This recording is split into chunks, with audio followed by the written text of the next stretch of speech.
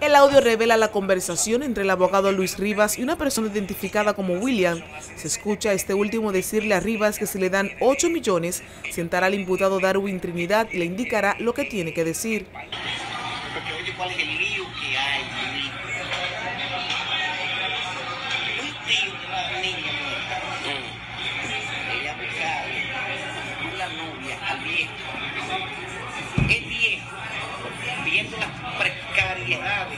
Económicas de él, le da un terreno allá.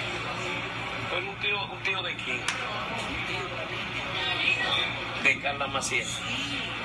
Bueno, de esa información yo no, no sé nada y no tengo familia que se llame así. Y si es verdad que me mande el audio, que yo quisiera verlo. Quisiera escucharlo yo misma para saber si es verdad.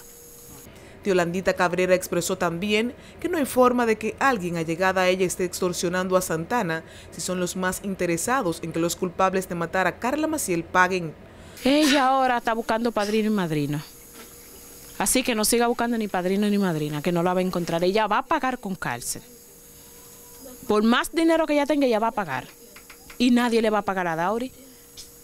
La madre de Carla Maciel y el abogado Plutarco Jaques solicitaron que el caso sea cambiado de jurisdicción y dijo que aunque no tiene dinero sí dignidad para hacer justicia por su hija.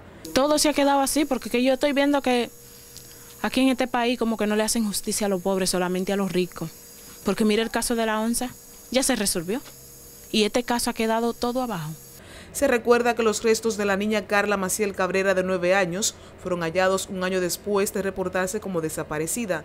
Las informaciones que suministraron ese entonces se daba cuenta que el cadáver fue encontrado sin órganos y Darwin Trinidad, el único detenido por el crimen, lo vinculó al tráfico de órganos, pero después dijo que la menor fue raptada para un experimento. Virna Lisi García les informó.